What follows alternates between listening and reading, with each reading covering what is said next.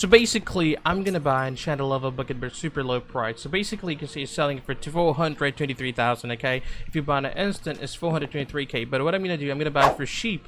So I'm gonna go. I'm gonna get two of these. This is gonna be uh, with 393, 393, and three iron.